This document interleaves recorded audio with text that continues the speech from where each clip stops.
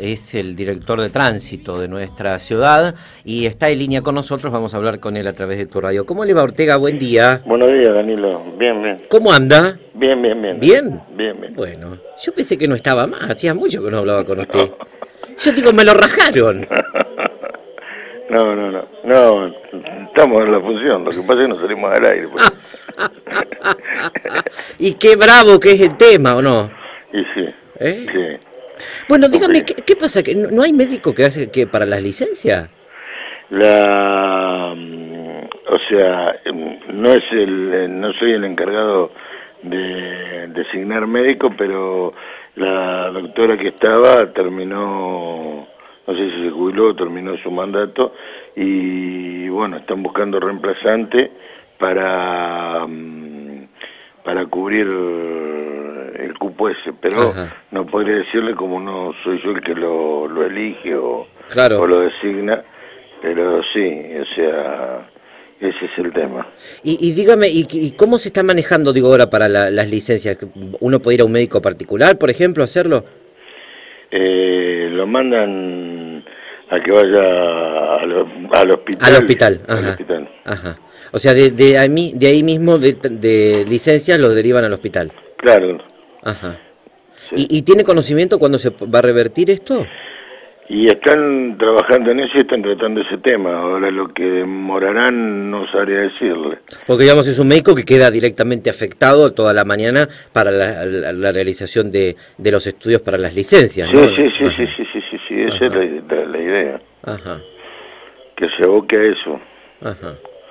De paso agilice el trámite. Claro, porque obviamente sabemos que una de, la- de las situaciones dadas es este que, que debe ser, digo, cuando uno las exigencias para la, el trámite de la licencia de conducir es justamente la evaluación médica, ¿no? Exacto. Bueno, ¿cómo eh, ha sido un fin de semana repleto de, de controles de tránsito eh, que ha generado todo tipo de comentarios, en su mayoría la comunidad o gran parte de la comu- de la comunidad, digo, este, de alguna manera ha respondido satisfactoriamente, porque era un poco, usted sabe bien que lo que venimos hablando, de que la gente lo que hablaba relacionado con los controles, pero fundamentalmente con aquellos que eh, son los que generan eh, eh, este tipo de situaciones, como son las picadas, et- etcétera, ¿no? Sí, sí, sí, sí. Eh, sí, era una inquietud de- del ciudadano común. El tema de la picada no, como lo hemos hablado más de una vez, ¿no es cierto? Eh, no es de ahora, viene de hace mucho tiempo y mm, en gestiones anteriores también se han probado o se han hecho operativos parecidos, eh, no iguales, eh, que también en su momento han, han dado su, su Eh, yo creo que, como lo hablamos más de una vez, el tema es la concientización y la formación del ciudadano y lo, lo ideal, pero es que esto no debería hacer falta. El ciudadano tendría que comprender y andar con las cosas en regla y de la mejor manera, ¿no es cierto? Eh, pero bueno, sin embargo, no es así. Sea, mm, se está haciendo un trabajo en conjunto con policía, inclusive hemos estado haciendo eh, capacitación, han venido gente de, la Agencia Nacional de Seguridad Vial, hemos también capacitado a los choferes de móviles, de ambulancia, de, patrulleros, bueno, se está trabajando al respecto, tratando de mejorar algo. Eh, justamente esta mañana cuando anunciaba que íbamos a hablar con usted, mi, mi comentario apuntaba casualmente a esto que hace mención, porque yo decía, digo, bueno, esto sabemos que no es una división que va a estar en forma permanente aquí en Varadero, ¿no? Y digo, ¿y qué va a pasar después cuando? Porque ayer alguien me decía, eh, no se escucha ningún sonido de motos corriendo a picada, y yo digo, pero tenemos que llegar a la necesidad de que venga un control de estas características para tomar conciencia de lo que significa el- el tránsito. Yo, eh, yo lo que veo, lo que creo, eh, y hablo desde el punto de vista personal de haber eh, de haberme desempeñado en mi carrera como policía en distintas ciudades y en grandes urbes, o sea, yo lo que veo es, si bien el problema de, del tránsito está en todos lados, eh, también hay mucho, mucha falta de respeto hacia las autoridades locales. o sea, una excesiva confianza. Eh, yo creo que llega la policía de afuera y lógicamente esta gente que viene, eh, viene, es gente que está acostumbrada a trabajar en el Gran Buenos Aires, es de la, por ejemplo, la gente que viene un fin de semana es de policía vial, eh, trabaja todo lo que es la zona Quilme, todo lo que es las autopistas, todo, eh, y trabajan de otra manera, lógicamente, no te van a pedir por favor, no te van a hablar de, la mejor manera posible, porque ellos están acostumbrados a las persecuciones, a las interceptaciones de vehículos sospechosos, y a veces eh, algunos de ellos hasta han tenido tiroteo o han, o han resultado heridos y llegan a una ciudad y bueno, no saben que la gente de acá no es como la de La Matanza, como la de La Lanús, como la de ¿no es cierto? Eh, pero bueno, eh, ellos eh, cuidan, se cuidan ellos, cuidan su compañero y hacen las cosas siempre dentro del marco legal. Lo que pasa que por ahí a nosotros que no estamos acostumbrados a ver eso, resulta chocante. Pero... O sea, ¿usted cree que eso es lo que generó por ahí, digamos, el debate el fin de semana? El debate mucha gente que decían que por qué andaban con escopetas, que por qué los corrían, que eh, el tema es simple, si yo estoy en falta y no tengo las cosas, y bueno, eh, no tengo que escapar. El hecho de escapar o de darme a la fuga, eh, para una persona que está haciendo un operativo policial, da a suponer que algo anormal hay, porque no era solamente de tránsito el operativo, el operativo era para prevención y represión de delito también, eh, ordenado por el Ministerio, y eras faltas en general. Entonces, si una persona se escapa, eh, la persona que está, y tampoco a veces la moto no, y no tiene patente, y no sabe, y ellos, bueno, lógicamente que lo corren hasta alcanzarlo interceptarlo. Eh, y acostumbrado acá, que bueno, se va, se va. Eh, claro, resulta chocante.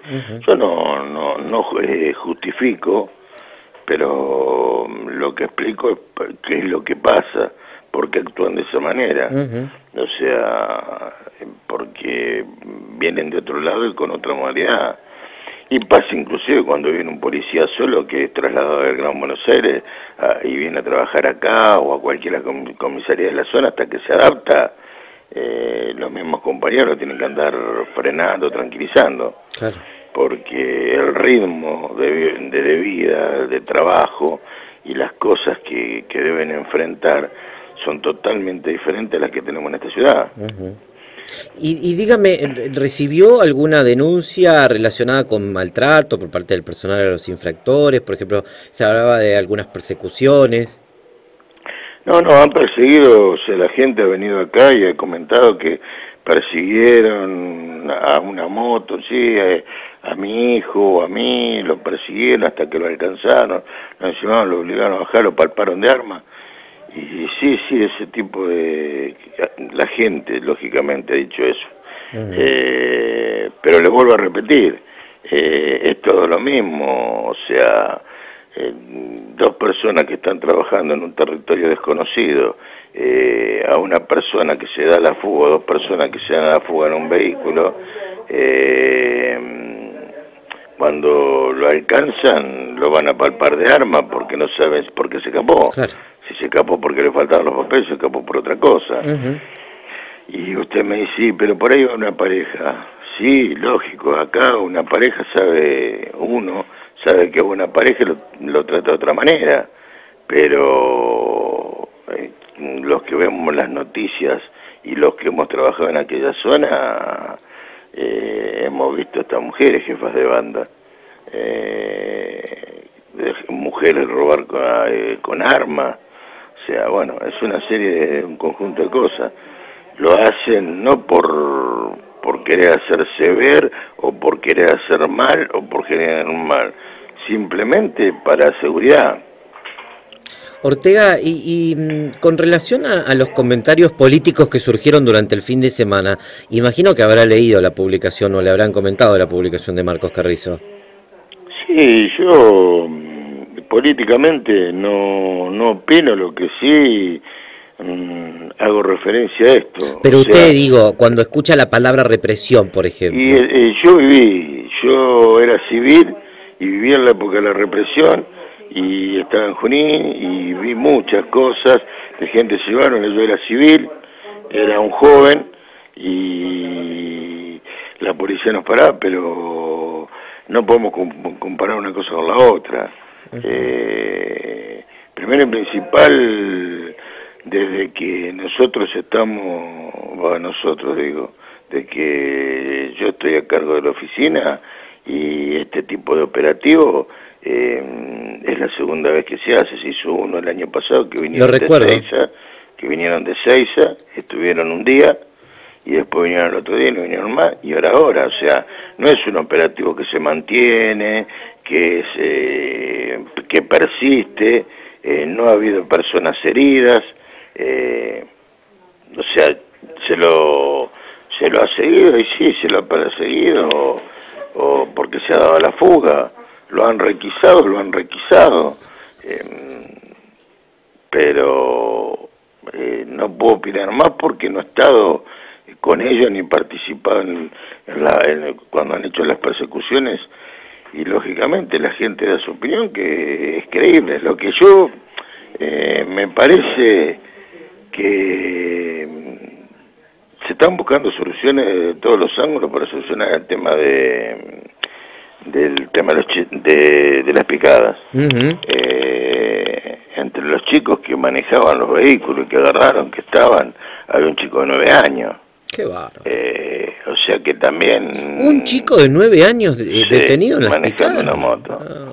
Entonces, eh, yo creo que la gente, o sea, puede opinar, puede molestarle, puede estar eh, ofendida, o puede pretender un trato mejor, que es entendible, porque estamos en una ciudad que no está acostumbrado a eso.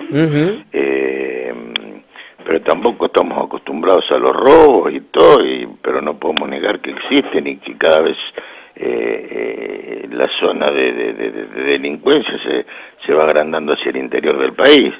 O sea, eso lo ven los diarios, lo ven en todo, ¿no es cierto? Antes usted hablaba de cualquier provincia o ciudad del interior del país y ni que hablar de San Santiago del Estero, Mendoza y la delincuencia eh, en algunas partes no es como el conurbano, pero es bastante importante. En los últimos años, ¿no? Ahora, usted sabe también que esta ciudad, lamentablemente, eh, tiene como dos extremos con relación al tránsito, ¿no? Una política, mm, si se quiere, de mano dura, donde había que detener a los pibes a como de lugar durante la era de Scarfoni, y después eh, situaciones que no se fueron, eh, no se le fueron encontrando eh, la vuelta en, las últimas gestiones, hasta que, bueno, a usted prácticamente fue como una exigencia, como un pedido a gritos, bueno, hagan algo por el tránsito, ¿no? Digo, lamentablemente esos extremos no han sido nunca buenos nunca se han podido encontrar como los grises en esta situación, o fue blanco o fue negro. Si no hubo un equilibrio, nosotros estamos tratando de conseguir el equilibrio, no quiere decir que lo hayamos conseguido, eh, falta mucho camino por andar, eh, faltan cosas, eh, tratamos o aspiramos, lo que pasa es que esto lo se hace entre todo el mundo, o sea, se hace entre el ciudadano común que sale en un vehículo, que tiene que salir con todo en regla, hasta el político, hasta el concejal, el doctor, el policía, todos tienen que, hacer lo mismo. A mí me han pasado casos acá que hay gente que viene, reconoce la multa, dice que la multa está bien, pero ¿por qué no le hacen la multa a fulanito? ¿Por qué no le hacen la multa a menganito? Bueno, pero si vos estás en falta, estás reconociendo que vos estás en falta, ¿por qué te enardeces? ¿Por qué te pones tan nervioso si la, si la falta la cometiste? ¿Mm? O sea, bueno, si vos querés denunciar a otra gente, vení, firmá, denunciá. Eh, la gente, como yo en una oportunidad le decía a usted, o sea, el tema del casco, el tema del casco hace 22 años que está la ley en vigencia y seguimos sin usar casco. Eh, la ley de la 24449 hace 22 para 23 años que está en vigencia. Y no es de ahora como el tema de el uso de la célula azul, la póliza de seguro o el comprobante del seguro, todas cosas que ya la gente lo sabe, lo, está cansada de escucharlo, la velocidad, eh, ahora, como estamos eh, esperando y vamos a empezar a colocar los carteles de, la velocidad en ciertos lugares, pero eh, uno de los temas que a la gente le molestaba era la, el, acceso como estaban corriendo. Tuvimos una ventaja de que el acceso se arregló, se embelleció la ciudad y, y un grupo de jóvenes lo usan para correr. Eh, y el problema no es que el joven lo use para correr, el problema es las consecuencias que puede traer eh, si tiene un accidente, se pierde una vida, joven, eh, depende contra qué choque, por ahí arruina no solo a su familia porque se quedan sin él, sino que arruinan la familia de la otra persona que justo pasaba por el lugar. Eh, son varias cosas que hay que tener en cuenta. Sí, son múltiples factores, es cierto. Eh, ahora, y, más allá de, esta apreciación que usted hacía, eh, volviendo al comentario de, Carrizo, usted sabe que hay temas muy centrales en la sociedad y sobre todo cuando hay una campaña política, ¿no? La seguridad del tránsito son dos cuestiones, pero ¿pensó en algún momento digo, que esto podía ser utilizado políticamente? No, no, yo sinceramente, va al criterio que hago, como le digo, como no nunca hago una mirada política de las cosas, como no hago una mirada, política de las cosas, no nunca pensé de que podía ser utilizado, eh, porque esto fue en un marco de un operativo eh, de, prevención en general, eh, dio la casualidad que justo cayó ahora, también hay que ver cuando, porque nosotros no somos el único lugar importante en la provincia. La provincia con sus recursos reparte a cada, cada partido, a cada ciudad, eh, conforme a la disponibilidad que tenga la gente. Eh, y bueno, nos tocó a nosotros este fin de semana. ¿Y qué va a hacer cuando se vayan? Porque usted tiene poco personal, eh, digo, tiene que afectar también a la policía, ¿cómo lo van a manejar? Nosotros vamos a, nosotros vamos a seguir trabajando como estamos haciendo desde que comenzó eh, la gestión en colaboración con la policía. Eh, de hecho, ahora porque vinieron ellos, pero si no siempre trabajamos en forma conjunta, todos los operativos. y el resto de las infracciones cuando el personal anda recorriendo o andan caminando, que son las que hacen, pero vamos a seguir trabajando de la misma manera. Em, para facilitar y garantizar, ahora vuelvo a repetir, em, la gente ya sabe lo que necesita, se han mandado notas, se han dicho cosas, se ha hablado, se han dado charlas, se van a seguir dando charlas, se han hecho propagandas, eh, el cinturón de seguridad, eh, hay gente que se la ruta y se lo pone, y en la ciudad no lo usa nadie. Sí. Eh, los que hemos tenido la costumbre de viajar eh, durante mucho tiempo, andamos con el cinturón de seguridad puesto. Sí, uno cruza el paso a nivel de San Martín y se pone el cinturón de seguridad. se pone el cinturón de seguridad. Exacto. Y cuando pasamos el arco de Boradero nos lo sacamos. Claro, exacto. exacto. entonces, bueno, son una serie de cosas que, se, que que tiene que haber una toma de conciencia por parte del ciudadano. Eh, yo veo jóvenes que conduciendo motocicletas eh, que no tienen no tienen 16 años, eh, mucho menos. Y esa negligencia de quiénes son de los padres. Y si hay un accidente, después podemos cuestionar todo, que la política de, de accidentología vial no está bien, todo lo, todo es cuestionable pero el hecho de que yo le dé una moto a una criatura de 11, 12, 13 años, eh, y sabemos que el chico no es consciente y que por ahí corre, y que por ahí va, eso también implica mucho de, Eh, el problema es que por ahí no importa hasta que pase una desgracia y uno no es que quiera agarrar a un chico manejando una moto. Eh, yo no voy a hacerme famoso, ni me dan nada por agarrar más o menos. Ni siquiera el personal que trabaja acá tiene un plus por hacer más o menos en multa. Lo que se está tratando de hacer es tratar de ganar el tránsito, de que haya menos víctimas, de que haya menos accidentes, de que la gente sea un poco más responsable. Ortega, eh, y hablando de, la responsabilidad, ayer también yo cuando hablábamos con el comisario Fioravanti, eh, en uno de los tramos de la nota le hacía hincapié algo que eh, le voy a, referir lo mismo a usted. Digo, porque hablamos de todo el fin de semana de controles, pero por ejemplo, a las 6 de la mañana dos autos chocaron ahí en la esquina de Arauz y Santa María de Oro y los dos con alcoholemia positiva. ¿No cree que hay que reforzar también la madrugada? Porque digo, es un, es un punto a tener en cuenta la salida de los locales nocturnos, por ejemplo. Sí, por eso es que los días sábados y ahora inclusive los viernes, eh, el personal se queda más de lo normal. Eh, antiguamente el personal se iba a las 5, ya se fue estirando, el personal se va a las 7 eh, y nos manejamos con lo, con lo que tenemos, entre ellos y nosotros. O sea, yo siempre tengo un, una, un grupo y cuando puedo refuerzo con dos grupos pero eh, al otro día tengo que seguir con, con el procedimiento para cubrir el resto del día. ¿Y pidió más gente? Sí, sí, sí, sí, están, están, están en tratativa para de eso y me dijeron que era una respuesta. Inclusive he tenido una incorporación, un par de incorporaciones tuve.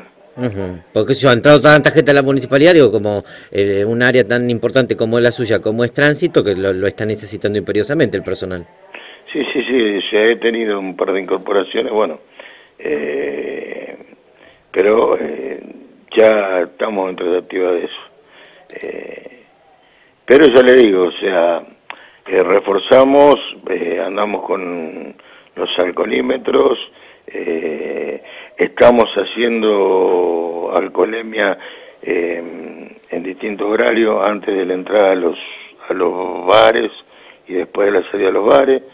Han tomado bastante conciencia, ¿eh? porque en relación a lo que era antes, mucha gente le, hacemos los fines de semana eh, el test de alcoholemia dentro de los valores permitidos. Mm. Eh, o sea, eso es un punto importante. O sea, 0,20 para la las motos y 0,50 para los, autos. Eh, y da dentro de los márgenes. Eh, o sea que, pero bueno, siempre hay algunos, igual siempre uno, dos, hay. Le dejo aquí unas inquietudes. Dice, buen día Danilo, preguntarle al jefe de tránsito si pueden realizar controles de picadas en libertad cruzando la vía hasta San Lorenzo, porque acá ni la policía anda, gracias, dice 604. Sí, el personal nuestro ha ido y va a ir, tiene orden de ir. Eh, es lo que le comentaba, lo del acceso. Mm. Inclusive también eh, hay un lugar donde se, nos perdían, que también ubicamos. Pero bueno, eh, el tema es que quien va en moto se te escapa con demasiada facilidad. Y ah. no, no lo, tampoco lo podemos seguir, pero no correr porque tenemos que preservar la integridad de la persona, ¿no es cierto? Hablando del acceso, dice, buen día Danilo, ¿podés hablar de este tema? Es preocupante el tránsito en el acceso, los que vamos a trabajar a Granix, sabemos que salimos de casa, pero no sabemos cómo vamos a regresar. Es impresionante la velocidad con la que pasan no solo las motos, sino también camiones, camionetas, 4x4, micros, no hay ningún cartel que indique que en la zona hay entrada y salida de trabajadores, no queremos más accidentes en el acceso, antes porque estaba en mal estado y ahora porque es una pista. Nadie respeta el semáforo que está en la entrada, como siempre, gracias, dice el 111. Sí, tuvimos una reunión con la gente de Granix y una de las evaluaciones fue que el semáforo em, empieza a funcionar. Eh, estuvimos haciendo una evaluación con gente de ella e inclusive ver de mandarle gente los horarios de salida.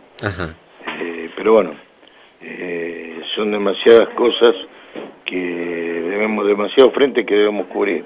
Y lo estamos dando una respuesta. Lo que pido es un poco paciencia, no Eh, yo a todo el que viene con una inquietud, con un problema, eh, trato de resolvérselo, inclusive le trato de dar la respuesta lo más rápido posible, dentro de las posibilidades que uno tiene, ¿no es cierto?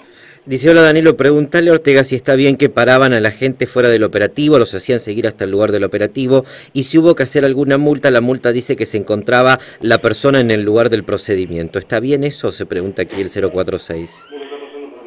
Sí, o sea, el tema del, del operativo, vuelvo a repetir, o sea, no estaba con ellos ahí. Eh, la gente que han llevado es gente que se ha escapado del del, por lo menos las multas que han hecho el personal nuestro. Gente que se ha ido del, que la han querido interceptar, se ha ido y la han seguido. Y la han traído de vuelta, por eso le pusieron el lugar ahí, no donde lo interceptaron. Eh, por un tema de que el operativo estaba instalado ahí, ¿no es cierto? Buen día, Dani. Por Mariano Moreno, al 400 doble mano. Calle Angosta y suben en una rueda. Gracias. Y también me dice que aquí le piden que puedan ir al barrio Plan Federal de noche, que es terrible las motos y los ruidos, dice el 948. Y después acá me dice, buen día Danilo, los vecinos del acceso están contentos con los controles, ahora pueden dormir tranquilos, las picadas terminaron, ojalá estén permanentemente. Eh, y a ver qué más tengo por aquí. Eh, bueno, si han identificado las motos secuestradas, alguna moto robada, me pregunta. No. 501. No, no eso no. Ajá. Eh, no, eso no. Y muchas motos nuevas. Y, el último... y muchos reincidentes. Que es también un debate, ¿no? El tema de la venta de motos y la entrega de, la documentación. Ese es otro tema. Que en algún momento eh, habrá que debatirlo al rol también de los concesionarios. Y los concesionarios, como los concesionarios de autos, cuando vos retirás un auto cero kilómetros, compras un auto, nuevo usado no lo puedo retirar si no lo retirar a nombre tuyo. Mm. Eh, y tenés que retirarlo con la documentación. De ahí, después están los documentos que firmés, el plan de pago que hagas, donde saqué la financiera, pero el documento no te lo pueden retener, los papeles del vehículo. Pero eso usted sabe que es, que es así. Y sí, bueno, habría que mandar una carta de documento o, o hacer las acciones legales que correspondan. Pues no pueden retener la documentación. ¿Y cómo circulo? Si no, no puedo circular. Exacto. Compro algo para no circular. Exacto. Yo tenía ese inconveniente, venido muchísima gente acá a quejarse. Pero bueno, es un tema entre el comprador y el vendedor. Eh, em, lo que pasa es que hay que la gente tiene que llevar la documentación. ¿Y porque es la primera exigencia que le piden cuando hacen un control de tránsito? Y. Aparte, aparte del problema de la ley de tránsito que puede infligir, ¿cómo sabemos si el vehículo no de él? Es otro problema. Imagínese que lo agarran a las 3 de la mañana. Yo se la compré a fulanito, se la compré a fulanito. ¿Qué? Claro. ¿No sabe? Y si llegas y da la casualidad que por ahí puede pasar, alguien le llama un número y aparece como que tiene pedido de secuestro se queda detenido o demorado hasta el otro día que lo, notifican y todo, a la mañana que se establece que le compró. Y el último dice, buen día, felicito al comisario Ortega, están haciendo bien las cosas, acá somos hijos del rigor, cuando apretan cuestionan y, critican. Ahora se nota que hacen las cosas bien, Varadero es un pueblo, dice Fantasma, igual cuando vino Gendarmería, felicitaciones y está perfecto que hagan los controles, si estás en regla no es capaz ni te das a la fuga, dice 015. Por lo menos para que se ponga contento, a ser un familiar suyo. no, yo no, soy partidario, sinceramente no soy partidario de, de, usar el rigor. A mí me encantaría que la gente tome conciencia, porque eso significa de que va a quedar para las generaciones futuras. Exacto. Pero sí, porque sabe evidentemente, pero evidentemente eh, son muy pocas muy pocas personas que toman conciencia. Hay gente con la que uno habla realmente y da gusto hablar y se comprometen y uno los ve después y andan. Y hay otros que si no le secuestran la moto, no lo No, y otros que son reincidentes, como le decía, que tienen hasta tres, se le han... hay gente que se le ha secuestrado hasta tres motos. Porque el personal que tengo, yo, gran parte del personal que tengo, de la gente que tengo, está de hace años. Y a este ya le secuestramos dos motos, este le secuestramos tres. Y bueno. Qué va. Eh, y así tenemos un galpón lleno, lleno, lleno de motos. Ortega, le agradezco mucho la gentileza que tuvo de atendernos, ¿eh? No, muchas gracias a usted. Le mando un saludo, gracias. El comisario Jorge Ortega, el director de tránsito, hablando con nosotros. Realmente cuando uno escucha eh, los datos, los, los datos concretos de los resultados.